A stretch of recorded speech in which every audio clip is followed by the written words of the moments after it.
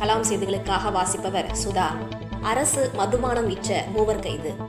Corona virus பரவுவதை தடுக்க நூற்றி நாற்பத்தி நான்கு தடை காலத்தில் பொதுமக்கள் யாரும் வீட்டை விட்டு வெளியே வர வேண்டாம் என காவல்துறையினர் தொடர்ந்து ஆட்டோவில் ஒளிபெருக்கி மூலம் பொதுமக்களுக்கு அறிவுறுத்தி பிரச்சாரம் செய்து வருகின்றனர். இந்நிலையில் சோளிங்கர் மற்றும் அதனை சுற்றியுள்ள பகுதிகளில் அரசின் டாஸ்மாக் மதுபாட்டில்கள் அதிக விலைக்கு ஒரு சிலர் மறைத்து விற்பனை செய்து வருவதாக சோளிங்கர் காவல் நிலைய ஆய்வாளர் வெங்கடேசனுக்கு ரகசிய தகவல் கிடைத்துள்ளது.